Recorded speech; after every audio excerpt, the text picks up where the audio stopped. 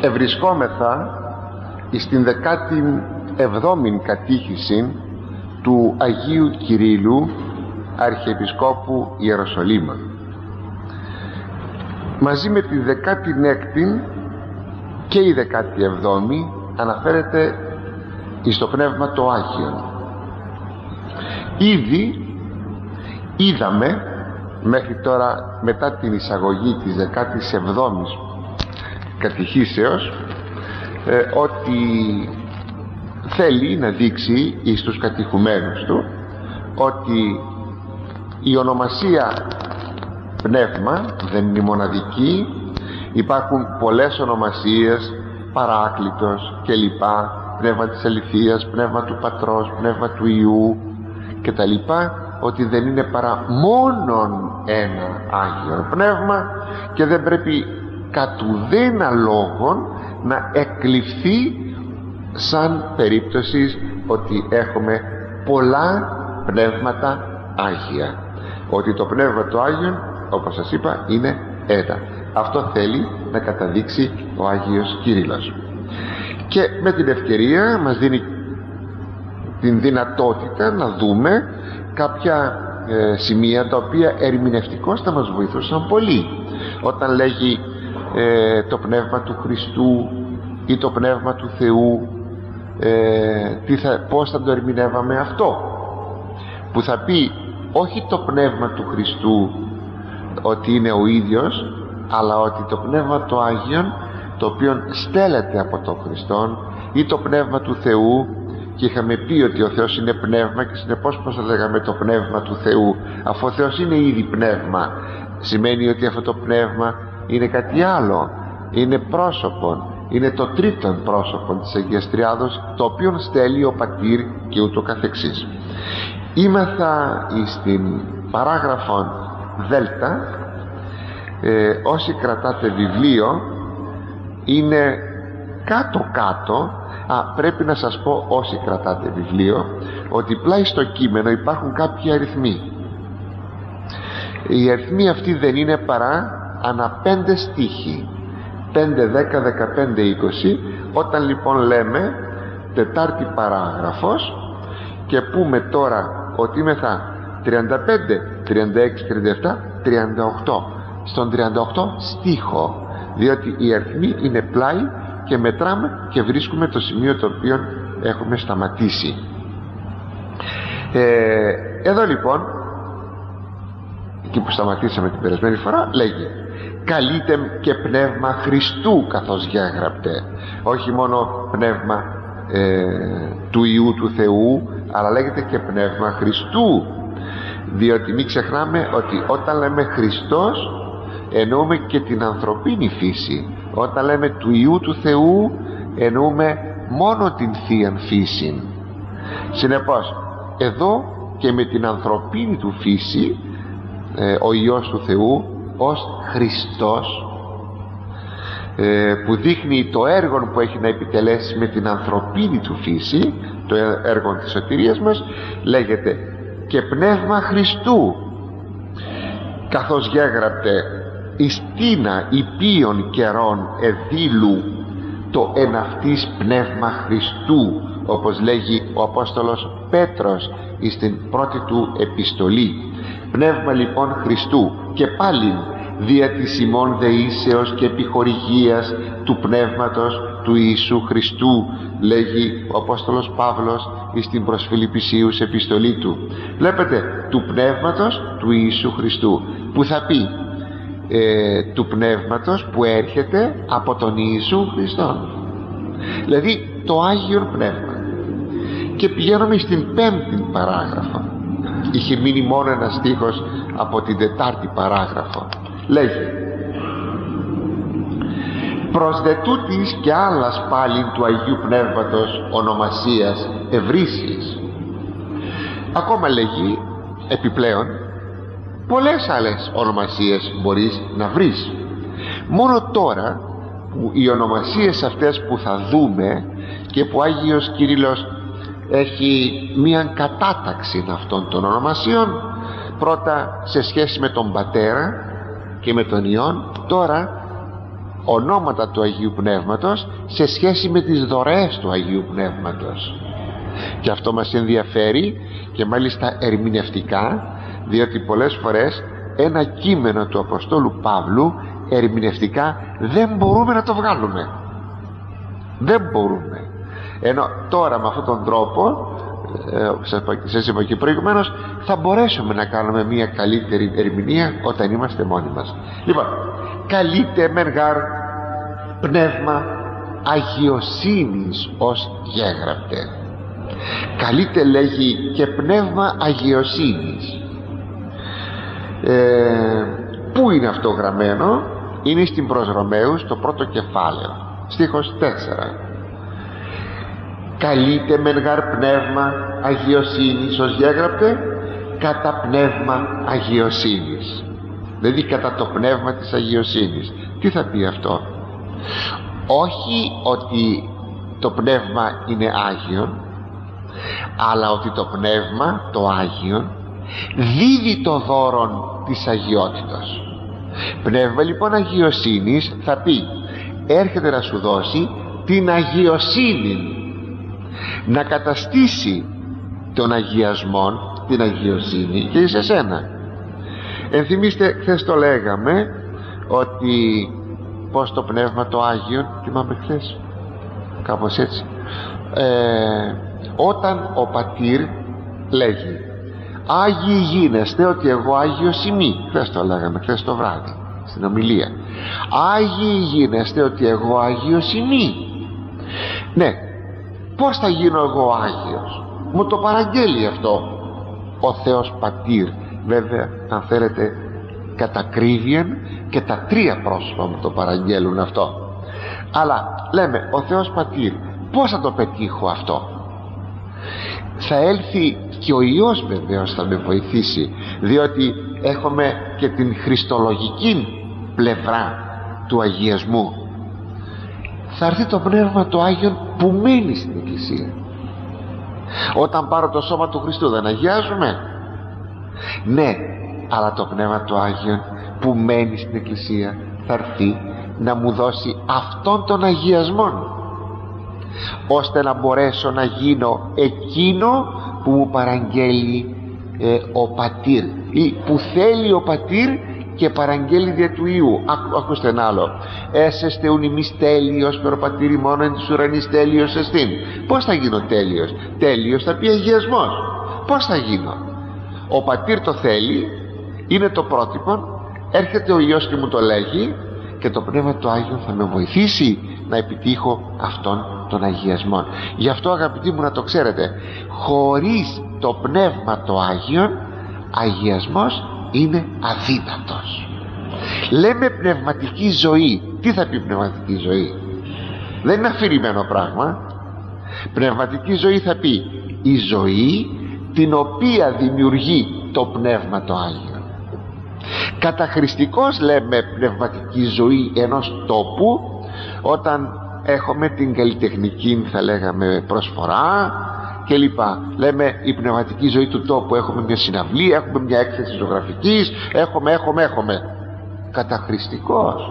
Και αν το θέλετε αν όχι καταχρηστικός θα ήταν με βάση το πνεύμα του ανθρώπου. Αλλά έχουμε το πνεύμα του ανθρώπου και το πνεύμα του Θεού. Και το με πνεύμα του ανθρώπου φτιάχνει τον πολιτισμό αλλά το πνεύμα του Θεού δημιουργεί τον αγιασμό δεν μπορώ λοιπόν να επιτύχω πνευματική ζωή εάν δεν έχω το πνεύμα το Άγιο. Γι' αυτό λοιπόν λέγεται και πνεύμα αγιοσύνης. Καλείται και πνεύμα υιοθεσίας ως Παύλος Φυσίν. Ούγαρε λάβετε πνεύμα δουλείας πάλιν εις φόβον. Αλλά λάβετε πνεύμα υιοθεσίας ενώ κράζομεν αβά ο πατήρ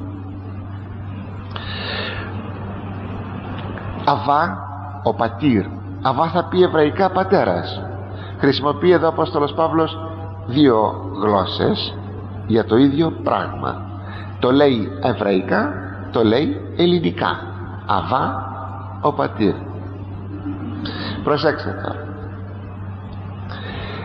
Πως θα πω τον Θεόν Πατέρα; Πως θα προσφωνήσω πάτερ ημών εν εις ουρανής πάτερ ημών ποιος είναι εκείνος που θα με βοηθήσει να πω το Θεό Πατέρα το Πνεύμα το Άγιο; Αγαπητοί είναι τόσο μεγάλο αυτό που φαίνεται τόσο εύκολο και τόσο δύσκολο αυτό που φαίνεται τόσο απλούν το να πεις στο Θεό Πατέρα διότι αν κανείς δεν έχει το Πνεύμα του Θεού είναι αδύνατον των αδυνάτων αδυνάτων αδύνατον να πει το Θεό Πατέρα. Πείτε σε έναν άνθρωπο που δεν πιστεύει στο Πνεύμα του Άγιο δεν πιστεύει καν στο Θεό ότι ο Θεός είναι πατήρ. Θα σας πει χίλιες θεωρίες γύρω από το θέμα του Θεού. Ο Θεός είναι μακράν θα μιλήσει για, το, για, το δε, ε, ε, για τον δεισμό δεισμός δέλτα δεισμός όχι θήτα δέλτα. Δεισμός δείσμους δηλαδή ότι ο Θεός έκανε τον κόσμο είναι αδιάφορος τον άφησε να κινείται στην τύχη του και στην πορεία του. Δηλαδή δεν είναι ο Θεός πατέρας πατέρας θα πει φροντιστής. Α όχι. Να τον πνίγετε δεν θα σας πει ότι ο Θεός είναι πατήρ. Δεν το πιστεύει. Να το ξέρετε αυτός δεν έχει το πνεύμα του Θεού. Όπως δεν μπορείς να πεις τον Ιησούν Κύριον εάν δεν έχεις το πνεύμα του Άγιον. Λέει ουδείς δίνεται υπήν Κύριον Ιησούν ή μια πνεύματι Αγίο λέει ο Απόστολος Παύλος. Πείτε σε κάποιον ότι ο Χριστός είναι Θεός. Όταν δεν πιστεύει στη θεότητα του Χριστού και δυστυχώς δεν είναι λίγοι εκείνοι οι Έλληνες σήμερα χριστιανοί μας πάλε ποτέ χριστιανοί μας ορθόδοξοι πάλε ποτέ αθετήσανται στο βάπτισμα κατά δυστυχία βέβαια δυνάμει αυτού του πρώτου βαπτίσματος μπορούν να γυρίσουν πάλι πίσω και να μετανοήσουν. Δεν τους ξαναβαπτίζουμε αλλά όσο μένουν στην κατάσταση αυτή θα λέγαμε πάλε ποτέ κατά δυστυχία που δεν θα έπρεπε να είναι έτσι. Πείτε τους ότι ο Χριστός είναι Θεός. Δεν το δέχονται. Για να μπορείς να πεις τον Ιησούν τον ιστορικό Ιησούν Κύριον πρέπει να έχεις το Πνεύμα του Άγιον. Το λέει σαφώς ο Απόστολος Παύλος. Αυτό κατά τον ίδιο τρόπο δεν μπορείς να πεις τον Θεό Πατέρα εάν δεν έχεις το Πνεύμα του Άγιον αλλά όταν πεις τον Θεό Πατέρα τότε αυτόματα γίνεσαι Υιός Του. Διότι πως μπορώ να πω πατέρα κάποιον αν δεν θεωρηθώ ταυτόχρονα Υιός Του. Συνεπώς το Πνεύμα του Άγιον είναι το πνεύμα της υιοθεσίας. Κατά χάριν υιοθεσίας. Μας υιοθετεί εις τον Πατέρα. Μας προσαγάγει υιοθετημένους εις τον Πατέρα και τότε αποκαλούμε τον Πατέρα του, του Ιού του Ιησού Χριστού τον αποκαλούμε και εμείς Πατέρα αλλά είναι Πατέρας μας βέβαια όχι κατ' ουσίαν αλλά κατά χάριν διότι Υιός κατ' ουσίαν είναι μόνον ο φυσικός Υιός το δεύτερο πρόσωπο της Αγίας Τριάδος.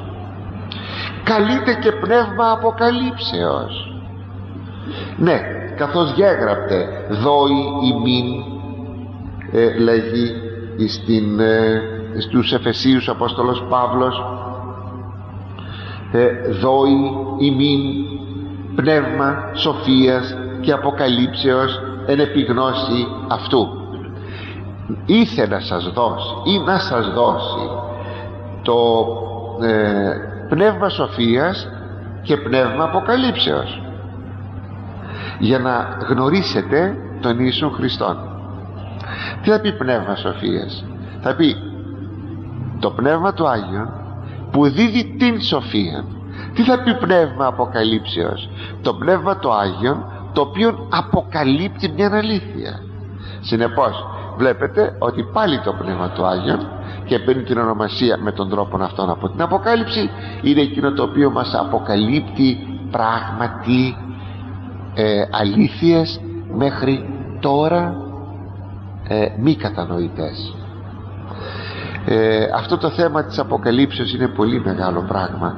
Να παρακαλάμε αγαπητοί μου το Πνεύμα το Άγιον πολύ συχνά κάθε στιγμή να μας δίδει πνεύμα αποκαλύψεως και πνεύμα σοφίας. Σοφία δεν είναι μια γνώση όπως οι Έλληνες την νομίζουν αλλά είναι ε, ταυτόσιμη όπως στην Παλαιά Διαθήκη βρίσκουμε με την παιδεία του Κυρίου. Θα πει παιδεία Κυρίου. Είναι η παιδεία η παιδαγωγία εκείνη την οποία κάνει ο Κύριος σε μας με το πνεύμα του του Άγιον μας παιδαγωγεί ε, στο δεύτερο ψαλμό λέει δράξαστε παιδείας Κυρίου μήποτε οργιστεί Κύριος δράξαστε δράτομαι δράξ είναι η φούχτα.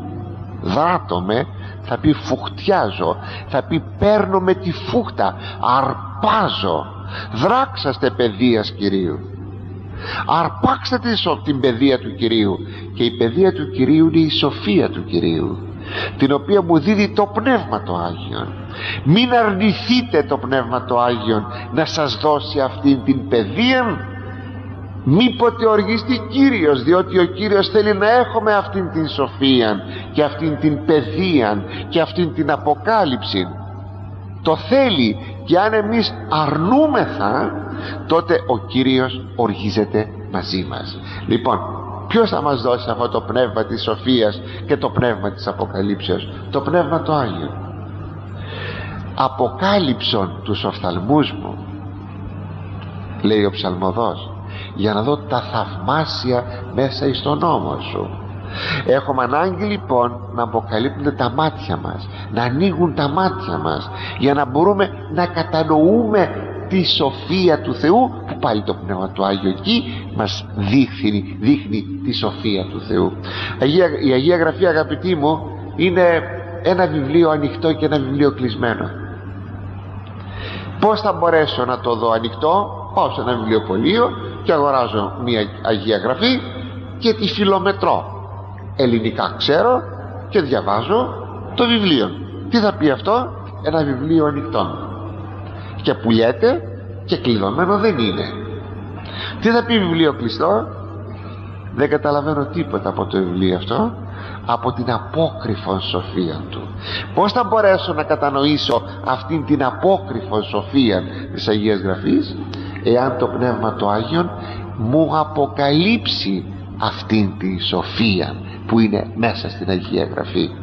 Συνέβη καμιά φορά να ανακαλύπτεται κάτι κατά τη μελέτη της Γραφής όταν μάλιστα επιμένετε σε αυτήν την μελέτη και έχετε χρονίσει σε αυτήν την μελέτη. Αν κάποια στιγμή σας αποκαλύπτεται κάτι και το κατανοείτε είναι το Πνεύμα το Άγιον που σας αποκαλύπτει αυτήν την θέση. Εγώ θα πω και κάτι άλλο και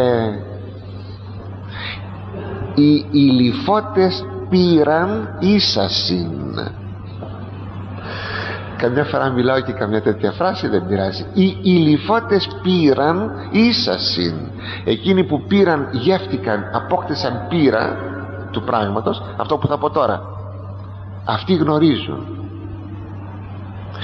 Έρχεται κάποια στιγμή όταν μελετάμε την Αγία Γραφή και όπως γύρεται ξέρετε στην ατμόσφαιρα επάνω και λέμε έχουμε τρυπήματα. Έχουμε ένα στρώμα που λέγεται όζον. Υπάρχουν πολλά στρώματα. Η ατμόσφαιρα είναι πολύ, είναι πολύπλοκος και γίνεται ένα τρύπημα λέμε του όζοντος. Δηλαδή εκεί περνάνε ηλιακές ακτίνες χωρίς να εμποδίζονται από το στρώμα του όζοντος. Αγαπητοί γίνονται κάποιες στιγμές όταν μελετούμε την Αγία Γραφή κάποιες τρύπες στον ουρανό και κατανοούμε κάτι μας συγκλονίζει αλλά δεν μπορούμε να το μεταδώσουμε να το μεταφέρουμε. Είναι προσωπικό. Γι' αυτό είπα ίσα γνωρίζουν ή πήραν οι λιφώτες προσέξτε αυτό είναι πολύ σπουδαίο. Υπάρχουν κάποιες στιγμές τέτοιας κατανοήσεως που είναι αυτό. Μια τρύπα. Ένα άνοιγμα. Είναι εκείνο το παράθυρο που ανέχθηκε στον ουρανό. Και η λέει η πύλη που λέει Ευαγγελιστής Ιωάννης. Και είδα στον ουρανό και η νύχτη λέει θύρα. Τι σημαίνει ανοίχθηκε θύρα; Σημαίνει ότι μπορεί να βλέπει κανείς τώρα εμπροκειμένο ο Ιωάννης που είναι στη γη να βλέπει τα μυστήρια του ουρανού. Και να βλέπει αλλά δεν μπορεί να τα πει αυτά ο Ευαγγελιστής Ιωάννης τα είπε με άλλη γλώσσα με τη γλώσσα που γράφει την Αποκάλυψη. Αλλά άλλες αλήθειες του ουρανού ε, έρχονται σε μια γνώση μας με αυτόν τον τρόπο. Είναι κάτι περισσότερο από το να απλώς να κατανοήσω κάτι. Απλώς. Είναι κάτι πολύ περισσότερο αυτό που σας είπα δηλαδή πρέπει να ζητάμε το Πνεύμα του Θεού να μας αποκαλύπτει τις αλήθειες αυτές γιατί είναι πολύ σπουδαίο πράγμα. Γιατί λέει εν επιγνώση αυτού αυτό το, δεν λέει εν γνώση λέει εν επιγνώση τίνος αυτού του Ιησού Χριστού. Δηλαδή πως να σας το πω να καταλάβεις μια στιγμή ποιος είναι ο Ιησούς Χριστός. Τα ακούτε αυτό; Ε ποιος είναι; Είναι ο Υιός του Θεού που έγινε άνθρωπος. Αυτό είναι μια αποκάλυψη. Αλλά είναι της πρώτης φάσεως. Είναι του πρώτου στρώματος. Αν θες αυτό να το κατανοήσεις βιωματικά με έναν συγκλονιστικό τρόπο είναι αυτό που σας είπα. Αυτό το τρύπημα του ουρανού για να έρθει αυτός ο ειδικός φωτισμός. Είναι κάτι πάλι από το Πνεύμα του Άγιον να σε συγκλονίσει ποιος είναι ο Ιησούς Χριστός και να μείνεις ενεός με το στόμα ανοιχτό. Ναι εγώ πιστεύω ότι υπάρχουν άνθρωποι που έχουν αυτή την εμπειρία και συγκλονίζονται. Μπορούν να έρθουν πολλά δάκρυα την ώρα εκείνη ναι, είναι, είναι, είναι μια ειδική κατάσταση είναι. είναι μια ειδική κατάσταση πραγματικά. Προχωρούμε. Καλείται συνεχίζει ο Αγίος Κύριλλος και πνεύμα επαγγελίας καθώς ο αυτός φυσήν ενώ και εμείς πιστεύσαντες εσφραγίστητε το πνεύματι της επαγγελίας το Αγίο. Δηλαδή το πνεύματι του Αγίου της επαγγελίας. Κάνω μία εξομάλυση της συντάξεως. Ε, πως λέγεται πνεύμα επαγγελίας; Τι θα πει αυτό; Πνεύμα επαγγελίας θα πει πνεύμα υποσχέσεως. Επαγγέλλομαι θα πει υπόσχομαι λέμε η γη της επαγγελίας τώρα κοιτάξτε τι προσέξτε ε, με, πως αλλάζουν τις, την έννοιά τους οι λέξεις. Σήμερα όταν λέμε γη της επαγγελίας εννοούμε η γη που ρέει μέλι και γάλα δεν υπάρχει θέμα ότι τότε ο Θεός είχε πει στη γη που ρέει, ε, ρέει μέλι και γάλα δηλαδή έφορος. Είναι μια εικόνα μιας εφορίας. Αλλά η γη επαγγελίας θα πει γη υποσχέσεως. Ή το η γη την οποία δηλαδή περιοχή που είχε υποσχεθεί ο Θεός στον Αβραάμ. Αυτό θα πει γη επαγγελίας. Γη υποσχέσεως. Ε λοιπόν αγαπητοί μου έρχεται το Πνεύμα το Άγιον. Όταν σφραγιστήκαμε από αυτό κατά το βάφτισμά μας μας έδωσε την επαγγελία την υπόσχεση ότι θα αποκτήσουμε αγαθά και δει το ακρότο των αγαθών που όλα τα περιέχει όλα τα άλλα αγαθά την Βασιλεία του Θεού. Η Βασιλεία του Θεού βέβαια αρχίζει από τώρα. Αλλά και η γεύση της αρχίζει από τώρα όπως και η γεύση της κολάσεως αρχίζει από τώρα. Και λέμε πολλές φορές αυτός ο άνθρωπος ζει την κόλαση όπως λέμε αυτός ο άνθρωπος ζει τη Βασιλεία του Θεού. Αλλά είναι μία πρόγευσης μια πρόγευσης. Ε λοιπόν αυτή η πρόγευσης δεν είναι τίποτε άλλο παρά η υπόσχεση μελών των αγαθών. Πως εγώ μπορώ να λέγω και να ελπίζω στα μέλλοντα αγαθά εάν δεν μου βάλει το Πνεύμα το Άγιον μέσα μου αυτήν την επαγγελία την υπόσχεση για την οποία υπόσχεση λέγει ο Απόστολος Παύλος πιστός ο Θεός συγγνώμη πιστός ο Λόγος και πάσης αποδοχής άξιος δηλαδή αξιόπιστος ο Λόγος του Θεού. Εδώ τώρα θα σας προσέξτε παρακαλώ θα σας πω κάτι ε, αξιόπιστος ο Λόγος του Θεού. Ο, είναι πιστός ο Λόγος ο Θεός είναι πιστός. Άξιος εμπιστοσύνης. Αυτό είναι γραμμένο. Εγώ το βλέπω. Το βλέπετε κι εσείς. Λέμε ο Θεός είναι αξιόπιστος. Μάλιστα είναι αξιόπιστος. Ο Απόστολος Παύλος είχε εμπειρία αυτής της αξιοπιστίας του Θεού. Εκείνο που σας είπα με το τρύπημα του ουρανού τρύπημα για να πάρω μια εμπειρία εκείνη που με, με κάνει ε, άλλον άνθρωπο. Όταν έγραφε πιστός ο λόγος ο Απόστολος Παύλος το έγραφε όχι με βάση τους προφήτες ή με βάση το τι διάβασε με βάση μια εμπειρία. Ζούσε αυτό το πιστός ο λόγος και πάσης αποδοχής άξιος. Άξιος να τον αποδεχθείς. Τον ζούσε. Μέσα σε διωγμούς του μέσα σε περιπέτειες μέσα σε καταστάσεις φοβερές ώστε να λέγει ότι κάθε μέρα πεθαίνομαι ελογίστε με ως πρόβατας σφαγής μπορούσε να λέει αυτό. Πως μπορούσε να το λέει; Ήταν αυτό που σας είπα προηγουμένως. Αυτή η γεύση αυτά τα τρυπήματα του ουρανού που εδέχεται αυτές τις αποκαλύψεις από το Πνεύμα του Άγιον και είχε την εμπειρία είναι μεγάλο πράγμα αυτό. Μεγάλο. Αυτήν την εμπειρία καταρχάς την είχαν όλοι οι μάρτυρες. Ποιος είναι εκείνος ο οποίος θα με βεβαιώσει ότι εγώ τώρα δώσω μαρτυρικά τη ζωή μου και τη χάσω βεβαίως τη χάσω. Ότι θα μου δώσει μια άλλη ζωή. Ποιος είναι εκείνος ο οποίος με βεβαιώνει; Ποιος μου το υπόσχεται αυτό; Μια υπόσχεση που να με κάνει να φτάσω να δώσω τη ζωή μου το πνεύμα του Άγιο λέγεται πνεύμα επαγγελίας. Αυτό έρχεται και μου βάζει μέσα μου μου βάζει μέσα μου αυτό που σας είπα. Την υπόσχεση. Το υπεσχέθη το υπεσχέθη το πνεύμα του Άγιο γι' αυτό λέγεται και το πνεύμα του Άγιο ο αραβών της Βασιλείας του Θεού. Αραβών θα πει υπόσχεσης μην το ξεχνούμε. Αυτό θα πει αραβών. Θα πει υπόσχεσης. Ακόμη δεν έχουμε τον γάμον έχουμε τον αραβόνα ακόμη δεν έχουμε τη βασιλεία έχουμε την πρόγευση. Καλείται και πνεύμα χάριτος. Ως ότε πάλι λέγει και το πνεύμα της χάριτος ενυβρίσας λέει στην προς Εβραίους ο Απόστολος Παύλος εκείνος λέει ο οποίος ενύβρισε το πνεύμα της χάριτος και λοιπά γιατί λέγεται πνεύμα χάριτος; Διότι είναι εκείνο που μου δίδει τας χάριτας του Θεού.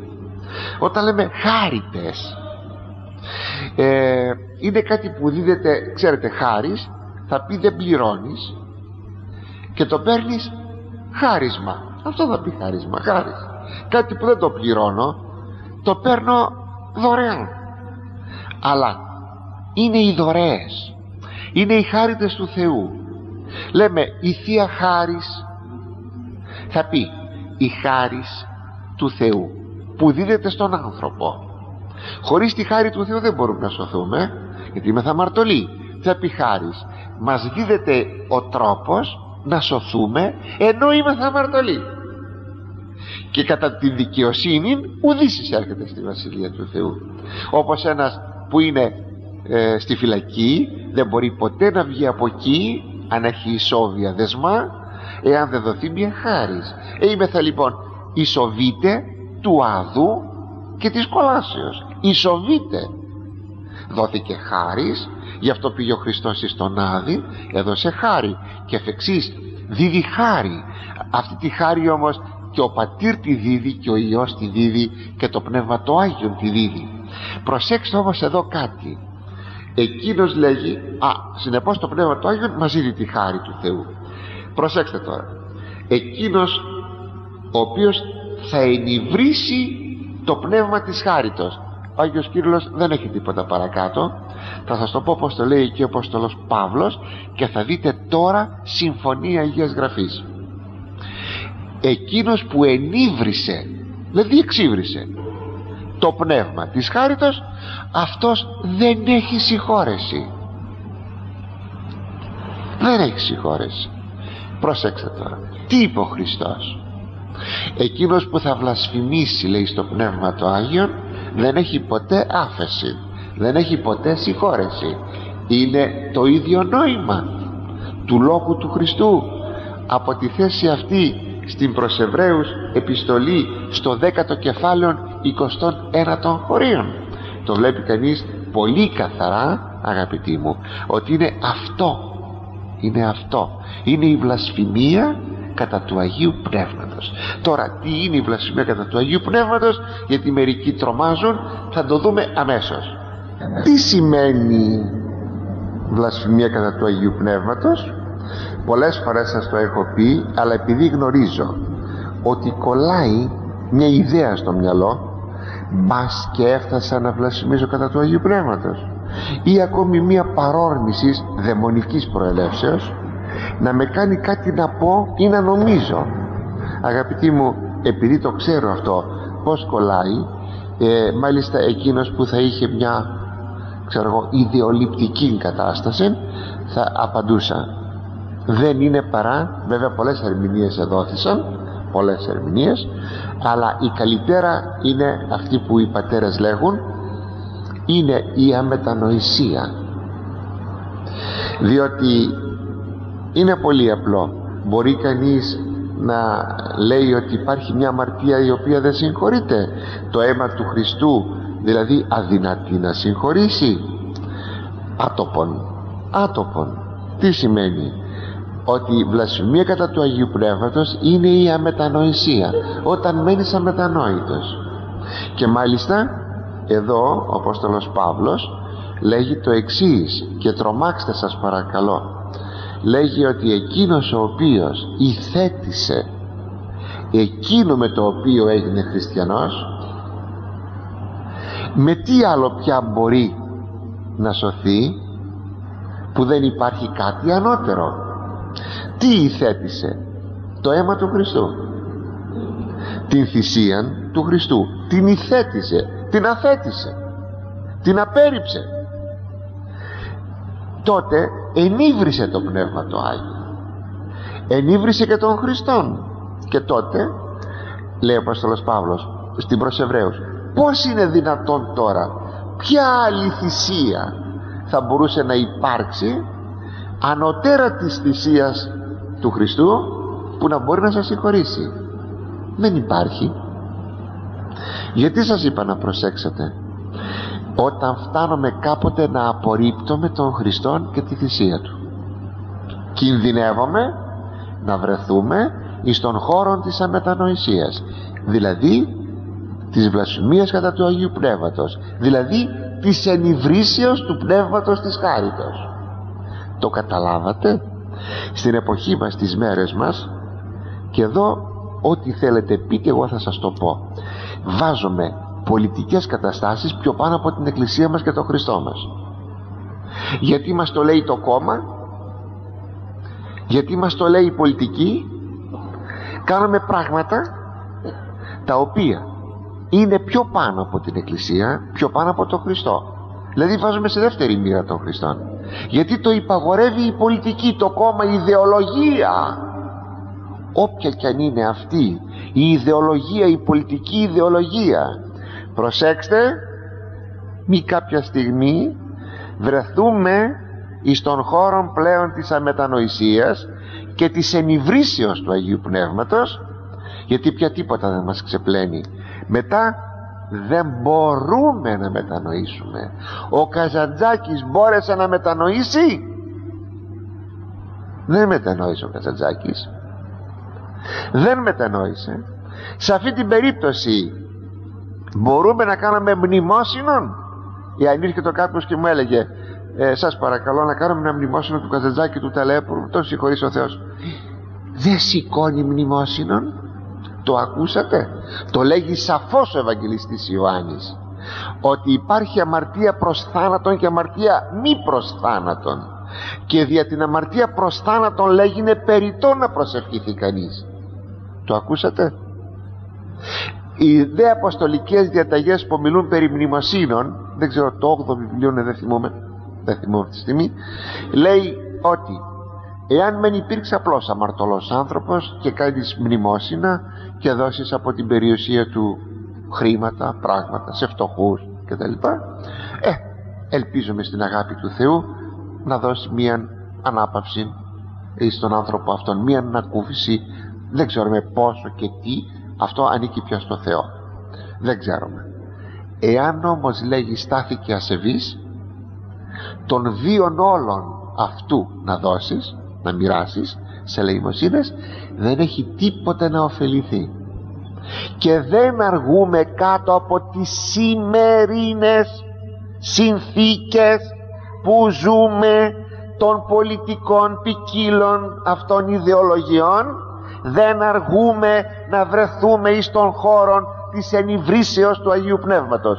Τα ακούσατε; Είμαι αθώος απέναντι στο Θεό για σας για να μην πει κάποιος δεν μας ειδοποίησε. Το διακινδυνεύω αλλά το λέγω είναι αληθές. Γιατί έχω δει χριστιανούς μας βάζουν ένα μαρξισμό πιο πάνω από την εκκλησία βάζουν δεν ξέρω ένα σοσιαλισμό πιο πάνω από την εκκλησία. Βρε τα λέω ρε φτωχέ άνθρωπε τι κάνεις; Ξέρεις τι κάνεις; Ξέρεις τι κάνεις; Ξέρεις πόσο επικίνδυνο πράγμα είναι αυτό; Εγώ σας το είπα είμαι αθώος. Από το αίματό σας. Λέει, λέει ο Θεός για του προφήτου.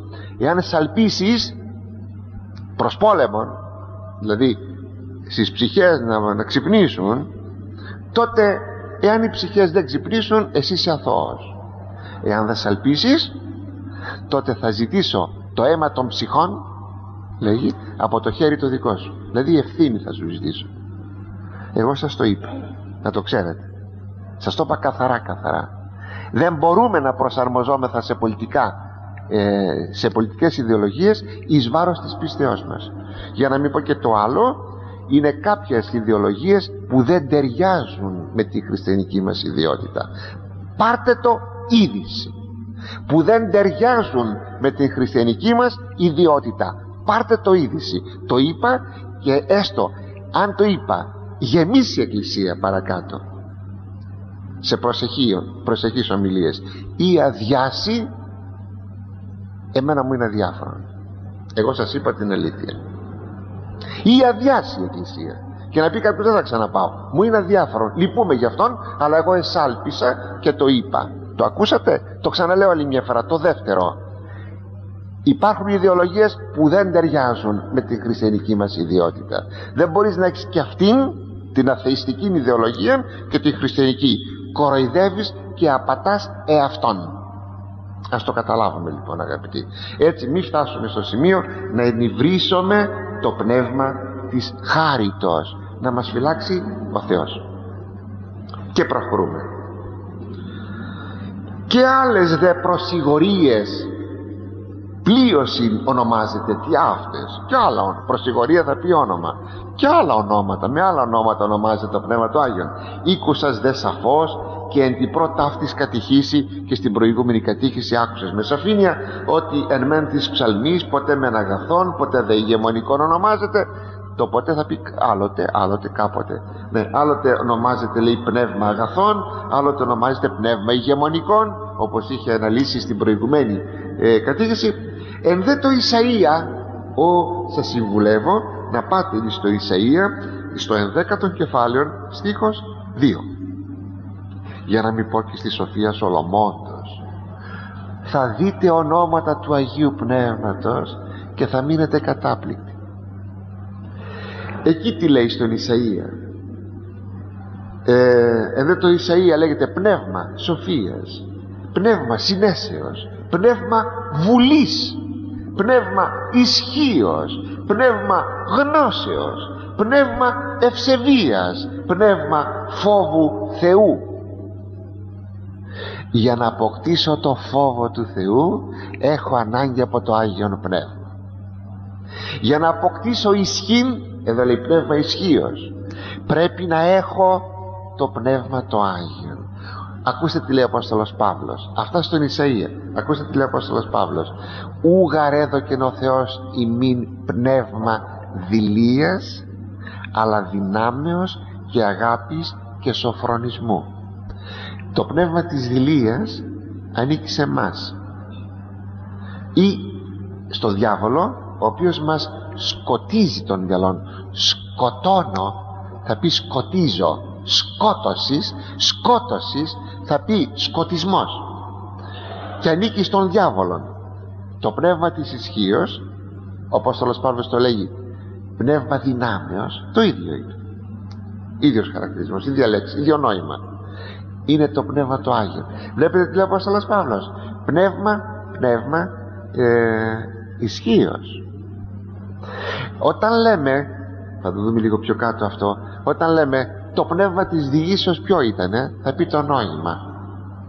Όταν λέμε το πνεύμα της υποθέσεως ποιο ήταν λέμε εκείνο και εκείνο. Λέει το νόημα πάλι. Όταν εδώ λέμε πνεύμα ισχύως, δεν θα πει δεν θα πει ε, εκείνο που κατά κάποιο τρόπο εκφράζει την ισχύ αλλά εκείνο που δίδει την ισχύ γιατί; Γιατί αυτό που δίδει την ισχύ ή τη σοφία ή την σύνδεση ή, ή είναι ενυπόστατον είναι πρόσωπον. Θα το δούμε λίγο πιο κάτω αυτό. Και είναι πολύ σπουδαίο αυτό. Και προχωρούμε. Διόν απάντων τόντε πρώτερων ηρημένων και των νυν. Με όλα αυτά εκείνα που είπαμε στην προηγούμενη κατήχηση και αυτά που λέμε τώρα συνίσταται διαφόρους μεν είναι τας προσιγορίας ένδεκατο αυτόν πνεύμα το Άγιον. Αυτό πονάει τον Άγιο τον Άγιο Κύριλλο να πει στους κατηχουμένους του ότι ποικίλα τα χαρίσματα ποικίλες οι δωρεές ποικίλα τα ονόματα το Πνεύμα του Άγιον είναι ένα. Αυτό θέλει να πει και να τονίσει. Θυμόσαστε πόσες φορές το βρήκαμε αυτό το σημείο. Ζών και ηφαιστός και πάντοτε πατρί και ιό συμπαρών. Με τον πατέρα και με, το, με τον ιόν είναι πάντοτε λέγει παρόν. Συμπαρών συμπαρίσταται με τον πατέρα και με τον ιόν και λέει πιο κάτω για να το τονίσει αυτό γιατί δυστυχώς και αυτό έγινε, έχει τύχει παρεξηγήσεων μέσα στην ιστορία ε, όπως και στην εποχή μας. Ε, ουκ αποστόματος και χιλέων πατρός ή ιού λαλούμενον ή αναπνεόμενον ούτε εις αέρα διαχεόμενον αλλά υπόστατον το Πνεύμα του Άγιον δεν είναι η πνοή του Πατρός ή του Ιού. Δεν είναι κάτι που λέμε ε, το πνεύμα των λόγων μου τώρα να βγάζω λόγια και φτάνουν στα αυτιά σας ε, εις αέρα διαχεόμενων που ε, φεύγει δια των μορίων του αέρος ε, γιατί γίνεται κρούσης αυτή και φτάνει χτυπάει στα τύμπανα των αυτιών μας και ακούμε. Όχι. Όταν λέμε το πνεύμα του πατρός και το πνεύμα του Ιού δεν είναι παρά το πνεύμα αυτό ενυπόστατον. Θα πει πρόσωπον είναι προσωπικόν αυτό είναι το δεύτερο που θέλει να τονίσει αν όχι πραγματικά αυτό είναι το πρώτο. Το πνεύμα του Άγιον είναι πρόσωπο. Οι χιλιαστέ και παλιά οι πνευματομάχοι Μακεδόνιος και λοιποί λέγαν ότι το πνεύμα του Άγιον δεν είναι πρόσωπον αλλά είναι ενέργεια. Ή κτιστή κατάλους ή άκτιστη κατάλους στους χιλιαστάς τι είναι λέει μια ενέργεια του Θεού μια δράσης του Θεού και δεν είναι πρόσωπον. Γι' αυτό οι χιλιαστέ είναι όχι μόνο Χριστό μάχη διότι δεν δέχονται τον Χριστόν θεάνθρωπον αλλά είναι και πνεύματομάχη βλέπετε λοιπόν την περίπτωση εδώ ότι είναι ανάγκη να τονιστεί ότι το Πνεύμα το Άγιον είναι ενυπόστατον εξάλλου αυτό υπόθηκε και δια την ανθρωπίνη φύση ο ηλισμός λέγει ότι αν θέλετε να κάνω μια μεταφορά ο ηλισμός λέγει ότι η ψυχή του ανθρώπου το πνεύμα του ανθρώπου δεν είναι παρά μια ενέργεια αυτής ταύτης της ύλης. διότι τι είναι λέγει ενέργεια, το πνεύμα; Ενέργεια της ύλης. και τι είναι η συνείδησης; Θα διαβάσετε στο φιλοσοφικό λεξικό του Ροζένταλ τι είναι λέγει συνείδησης λέγει μια μορφή τη ενεργείας ε, που δίδει αυτήν την αυτογνωσία και τα λοιπά. Μια μορφή ενεργείας. Ωραία πράγματα. Η ψυχή του ανθρώπου δεν είναι ενέργεια ε, υλική δεν είναι ούτε καν απόρρια του σώματος. Είναι ξεχωριστό πράγμα. Είναι αυτό που είναι αληθινά το πρόσωπο και έχω συνείδηση. Αυτό είναι το πνεύμα. Και το πνεύμα αυτό φεύγει και ανακαλείται. Φεύγει και ανακαλείται. Λάζαρε δεν βρω έξω. Είπες εγύρου είπε στην θυγατέρα του Ιαΐρου. Συλλέγω σε σένα το λέγω. Είπες ο παιδί, ο, ο κοπέλα ο παιδί σήκω. Από πού ήρθε η ψυχή; Έφυγε και γύρισε. Είναι το πρόσωπο η ψυχή. Αυτό είναι το πρόσωπο η ψυχή. Συνεπώς η ψυχή μας δεν είναι μια ενέργεια ε, του σώματος ή της ύλης, όπως έχουμε ένα κερί. Όταν το κερί ξέρετε ανάβει μπορούμε να πούμε ότι το σώμα κερί είναι το υλικό μέρος. Τι είναι η φλόγα; Η φλόγα είναι μια ενέργεια γιατί έχουμε, έχουμε φωτιά. Είναι μια ενέργεια. Δεν είναι αυτό το πράγμα ο άνθρωπος. Είναι άλλο πράγμα το σώμα του άλλο πράγμα το πνεύμα του. Πολλό δε μάλλον εδώ έχουμε το πνεύμα του Άγιον το οποίο δεν είναι η πνοή του Θεού ή ό,τι άλλο είναι πρόσωπο αυτό αγαπητοί μου ας το καταλάβουμε. Αυτό λοιπόν το πνεύμα του Άγιον ε, λαλούν αυτό και ενεργούν και οικονομούν και αγιάζουν αδιαστάτουν δηλαδή και συμφώνου και μιας ουσίας της σωτηριώδους οικονομίας της ημάς της εκπατρός και Ιού και Αγίου Πνεύματος καθώς και πρώην ηρίκαμεν είναι αυτό το οποίο λαλεί. Ποιο ελάλησες στην Πεντηκοστή; Το Πνεύμα του Άγιον. Λαλεί. Είναι εκείνο το οποίο ενεργεί το ενεργούν. Είναι εκείνο που οικονομεί. Είναι εκείνο το οποίο αγιάζει. Το Πνεύμα του Άγιον λέγει ξεχωρίσατε μου τον Παύλον και τον Βαρνάβαν τους οποίους εγώ θα στείλω στην Κύπρο ξεχωρίσατε μου είναι πρόσωπο ξεχωρίσατε μου. Πως τόλος Πέτρος τι λέει στον Ανανίαν; Γιατί είπες ψέματα εις το Πνεύμα το Άγιον; Και ούτω καθεξής. Αυτό ενεργεί. Ποιος εθανάτωσε ποιος εθανάτωσε τον Ανανίαν το Πνεύμα το Άγιο αυτό που ενυβρίστη δηλαδή πως ενυβρίστη; Με το να πει ψέματα διότι το ψέμα του Ανανίου ήταν ψέμα κατά του Αγίου Πνεύματος. Είναι φοβερόν. Είναι φοβερόν. Μόνο αν κανείς δει με παρθενικά μάτια την Αγία Γραφή αρχίζει να αναθεωρεί τόσα και τόσα πράγματα που ζούμε σήμερα και λεγόμαστε χριστιανοί. Και λεγόμαστε. Δεν ξέρω κατά πόσο όλοι μας είμαστε. Ακόμη είναι αδιάστατον δηλαδή και συμφώνου και μια ούσης της σωτηριώδους οικονομίας της ημάς και τα λοιπά. Ε, με τα πατρός και Ιού και Αγίου Πνεύματος. Τι θα πει; Θα πει ότι είναι μία ουσία ο πατήρ και ο Υιός και το Άγιο Πνεύμα. Ενεργεί ο πατήρ την ιδία ενέργεια ενεργεί και ο Υιός και την ιδία και το Πνεύμα το Άγιο. Ε, στο, στην Αγία Τριάδα έχουμε μία ενέργεια αν θέλετε αν μπορείτε να βρείτε κάποιο βιβλιαράκι κάποια φυλάδα που να έχει, να έχει την ακολουθία του, μεγά, ε, της, του εσπερινού της Πεντηκοστής. Εκεί να δείτε στα τροπάρια μέσα τι δογματικός πλούτος υπάρχει. Μία ουσία μία ενέργεια. Μία ουσία μία ενέργεια. Στο πρόσωπο του Χριστού υπάρχουν δύο ενέργειες.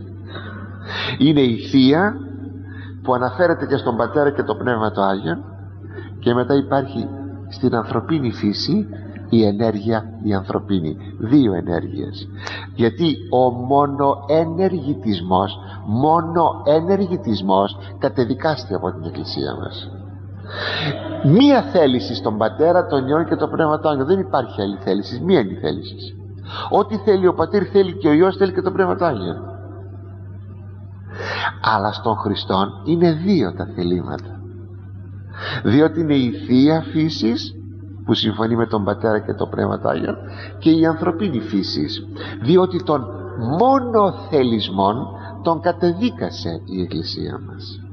Έχουμε λοιπόν μόνο στο πρόσωπο του Χριστού ένα όμως πρόσωπο δεν είναι δύο. Τη Θεία και την ανθρωπίνη φύση δύο ενέργειες και δύο θελήσεις. Έχουμε το θέμα της γνώσεως. Ό,τι γνωρίζει ο πατήρ το γνωρίζει και ο Υιός το γνωρίζει και το Πνεύμα το Άγιο δεν υπάρχει κάτι διαφορετικό ή κάτι κρυφό που το γνωρίζει ο πατήρ και το γνωρίζει ο Υιός. Αν μου πείτε όταν ερωτήθηκε πότε θα γίνει η Δευτέρα του παρουσία και είπε δεν το γνωρίζουν ούτε οι άγγελοι ούτε ο Υιός το είπε αν το θέλετε να μου επιτραπεί η έκφραση το είπε για να ξεφορτωθεί τους μαθητάς του ναι μη σας κάνει εντύπωση η έκφραση που είπε. Για να τους ξεφορτωθεί να μην τον ερωτάνε άλλο πια. Δεν είπε ψέματα. Ο Χριστός. Γιατί; Ότι δεν ξέρει ο Υιός. Ο Υιός ξέρει. Διότι οι γνώσεις του Πατρός είναι και γνώσεις του Υιού είναι και γνώσεις του Αγίου Πνεύματος. Είναι κοινή γνώσεις αφού είναι κοινή η ουσία. Ως Υιός ανθρώπου δεν γνωρίζει και συνεπώς όταν είπε ούτε ο Υιός γνωρίζει εννοούσε ο Υιός του ανθρώπου. Αυτό που βλέπετε εσείς τώρα την ανθρωπίνη φύση για να τους ξεφορτωθεί. Διότι πράγματι η ανθρωπίνη φύση του Χριστού δεν γνωρίζει τη Δευτέρα Παρουσία ενώ η Θεία γνωρίζει. Σας κάνει εντύπωση. Γι' αυτό και οι γνώσεις στον Ιησού Χριστό είναι διπλή. Όταν ερωτά ποιος σου το είπε λέει στον Πιλάτο αυτό που μου λες από μόνος σου το λες ή οι Εβραίοι σου το είπαν; Ο Κύριος δεν κάνει καμία συμπεγνία πράγματι δεν γνωρίζει. Ποια δεν γνωρίζει; Η, η ανθρωπίνη φύση δεν γνωρίζει. Γιατί έχουμε την ανθρωπίνη γνώση η οποία είναι περιορισμένη. Ενώ η Θεία είναι απεριόριστος και εκείνη με τον Πατέρα και, τον, και το Άγιο Πνεύμα. Αλλά επειδή έχουμε ένα πρόσωπο δηλαδή έχουμε ε, ενυπόστατον εδώ. Ε, δηλαδή μία, ένα πρόσωπο ενυπόστατος ε, των, δύο, των δύο ουσιών. Ε, μία, μία υπόσταση ε, στον Χριστόν. Για αυτόν τον λόγο ο Υιός γνωρίζει έστω και αν η ανθρωπίνη φύση δεν γνωρίζει. Γνωρίζει. Αλλά δεν είπε ούτε ψέματα ούτε ήταν ανακρίβει αυτό που είπε. Ύστερα με βάση όλα αυτά η Εκκλησία μας εδογμάτισε ό,τι εδογμάτισε. Συνεπώς το Χριστό είναι δύο οι γνώσεις θεία και ανθρωπίνη δύο οι θελήσεις θεία και ανθρωπίνη ε, δύο οι, τι οι ενέργειες. Ενώ στον Άγιον Τριαδικών Θεών κοινή η γνώσης κοινή η ενέργεια κοινή η θέληση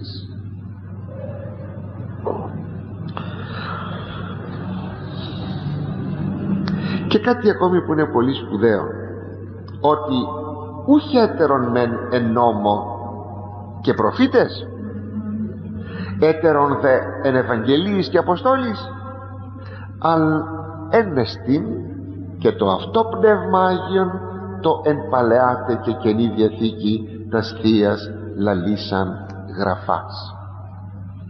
Πόσο σπουδαίο το πνεύμα το Άγιο λέει δεν είναι άλλο στην παλαιά και άλλο στην καινή. Είναι αυτό το ίδιο που μίλησε στο νόμο. Τι εννοείς στο νόμο; Στο Μωυσή. Και προφήτες οι προφητείες. Το ίδιο πνεύμα Άγιον μίλησε στα Ευαγγέλια. Και εις τους Αποστόλους. Ένα είναι αυτό που μίλησε και στην Παλαιά και στην Καινή Διαθήκη προσέξτε αγαπητοί. Ξέρετε ότι ε, θεωρήθηκε καταρχάς από τους γνωστικούς εκεί είναι η πρώτη αφιτηρία ύστερα δε ε, από σύγχρονες κυρίως προτεσταντικές θέσεις εγώ πιστεύω ότι μάλλον γνωστικίζουν αυτές οι θέσεις μάλλον κάπως έτσι που θεωρούν τον Θεό της Παλαιάς Διαθήκης κακών και στην εποχή μας κατά δυστυχία υπάρχουν αυτές οι θέσεις ότι, ότι άλλος είναι ο Θεός της Παλαιάς Διαθήκης και άλλος είναι ο Θεός της Καινής Διαθήκης. Ένας είναι ο Θεός. Έχει γράψει, έχει πει μάλλον μια ομιλία ο Ιερός Χρυσόστομος πάνω σε αυτό ότι ο Θεός είναι ένας. Ένας είναι. Από που το βγάζουν ότι ο Θεός λέει της Παλαιάς Διαθήκης είναι κακός είναι τι κακός και μάλιστα σας το έχω πει και το ξέρετε αυτό το, το συγκλονιστικό ότι εκεί ο Θεός της Παλαιάς είναι ο Υιός. Γιαχβέ, Κύριος ο Υιός ο Υιός. Αυτός που κατοπινά είναι η ανθρώπιση αυτός είναι. Αυτός επάνω στο Σινά αυτός στην Βάτων αυτός παντού. Αυτός ως στήλη πυρός αυτός ως νεφέλη ως στήλη νεφέλης αυτός ε, ρίπτει το μάνα διότι αυτός είναι το λιθινό μάνα που κατεβαίνει από τον ουρανό αυτός η πέτρα που είπαν οι Εβραίοι νερό αυτός η πέτρα. Το λέει καθαρά ο Απόστολος Παύλος. Και πέτρα λέγει ακολουθούσα ποια πέτρα ακολουθεί είδατε πουθενά εσείς ποτέ καμιά πέτρα να ακολουθεί; Διότι εκείνη μεν η πέτρα δεν ακολουθούσε αλλά η ακολουθούσα πέτρα είναι ο Χριστός. Το λέει σαφώς ο Απόστολος Παύλος. Και ο Μωυσής προτιμάει λέει τους θησαυρούς των θησαυρών του Χριστού συγγνώμη των ονειδισμών του Χριστού από τους θησαυρούς της Αιγύπτου. Ποιον Χριστόν και ποιους θησαυρούς του Χριστού από τους θησαυρούς της Αιγύπτου όταν ο Μωυσής ζει 1500 χρόνια προ Χριστού βλέπει τον Χριστόν βλέπει τον Χριστόν. Ο Χριστός είναι εκεί πριν να ανθρωπίσει είναι ο Θεός Λόγος. Ο ίδιος λοιπόν είναι και μπορούμε να λέμε ο γλυκύτατος Ιησούς της καινής και ο κακός Θεός της, της Παλαιάς όταν θα φτάσουμε θα το δούμε αυτό το λέει το ανερί το λέγαν οι Μανιχαίοι το ανερί ο Άγιος Κύριλλος το λέγαν οι Μανιχαίοι. Μέχρι σήμερα λέγεται αυτό. Και θα σας πω δε και το εξής. Α, σημειώστε δε ότι το ίδιο πνεύμα Άγιο και εκεί και εδώ. Δεν είναι άλλο. Θα ήταν περίεργο πράγμα να είναι κάτι εκεί άλλο κάτι εδώ άλλο. Σήμερα για να μην σας αναφέρω και συγγραφείς υπάρχουν κάποιοι άνθρωποι δεν μπορώ να καταλάβω μασονική ρίζα έχουνε. Δεν μπορώ να καταλάβω τι ρίζα έχουν. Βέβαια εμφανίζονται ε, εθνικόφρονες εις το έπακρον. Εις το έπακρον εθνικόφρονες αλλά από τέτοιους εθνικόφρονες όπως θα δείτε λίγο παρακάτω να μας λείπανε χίλιες φορές. Δεν τους χρειαζόμαστε. Θα αγαπάμε την πατρίδα μας και θα την αγαπάμε. Αλλά αυτοί οι άνθρωποι δεν αγαπούν την πατρίδα τους όπως τώρα θα σας το καταδείξω. Οι άνθρωποι αυτοί δεν είναι λίγοι φαίνεται βέβαια λίγοι σε σχέση με τους πολλούς αλλά δεν είναι λίγοι. Οι άνθρωποι αυτοί ε, νομίζουν ότι ο Εβραϊσμός, ο Σιωνισμός θα καταστρέψει την Ελλάδα. Σωστό. Πολύ σωστό αυτό. Αλλά αφού θα καταστρέψει την Ελλάδα ο Σιωνισμός τότε ο Χριστιανισμός στην πραγματικότητα είναι μια θρησκεία εβραϊκή. Εβραϊκή. Την οποία βέβαια πρέπει να τη βγάλουμε αλλά πως θα τη βγάλουμε ελάτε που τώρα είναι ριζωμένος ο χριστιανισμός όχι μόνο στην Ελλάδα αλλά και σε όλο τον κόσμο; Μπορούμε να πούμε ότι είναι μια εβραϊκή θρησκεία ο χριστιανισμός; Ότι είναι συνέχεια της Παλαιάς δεν τίθεται θέμα. Αλλά με τη μορφή που σήμερα οι Εβραίοι κινούνται δεν είναι μια εβραϊκή θρησκεία. Και ούτε είναι μια παραφιάδα αιρετική του Ιουδαϊσμού ο χριστιανισμός. Είναι η συνέχεια της αποκαλύψεως του Θεού. Αυτό είναι ο χριστιανισμός λοιπόν τι κάνουν; Οι έξυπνοι αυτοί. Κάνουν το εξής. Σου λέει θα χτυπήσουμε την Παλαιά Διαθήκη και θα πούμε ότι αυτή είναι εβραϊκή η εβραϊκή θρησκεία για να περισσώσουμε δίθεν το χριστιανισμό που είναι ο Θεός ο καλός ο Ιησούς Χριστός ο γλυκής έτσι μιλούν με τον γράφουν εγώ από γραφτά τα έχω δει αυτά από γραφτά δεν είναι. Τα γραφτά δεν μένουν. Μιλούν με τον χιδεότερον και βλασφημότερον τρόπον εναντίον του Θεού της Παλαιάς Διαθήκης. Και δεν αντιλαμβάνονται οι ταλέποροι ότι είναι ο ίδιος ο Θεός. Λοιπόν αγαπητοί και στο τέλος αφού βρίζουν τον, Ιησού, ε, συγγνώμη, τον Θεό της Παλαιάς Διαθήκης μιλούν για τον χριστιανισμό ότι αυτός λέει η θρησκεία μας όχι η Παλαιά Διαθήκη για να έρθει ο σιωνισμός εδώ στη χώρα μας να είστε σίγουροι το δεύτερο βήμα που θα κάνουν είναι να πλήξουν τον χριστιανισμό. Γιατί άφησαν και δείγματα πλήξεως του Χριστού. Βλέπετε ότι αυτά δεν ανήκουν στο παρελθόν όπως τα λέμε εδώ. Ανήκουν και στο παρόν και πρέπει να αγρυπνούμε και να προσέχουμε αγαπητοί μου την πίστη μας εις των Άγιων Τριαδικών Θεών. Αλλά πρώτα ο Θεός θα συνεχίσουμε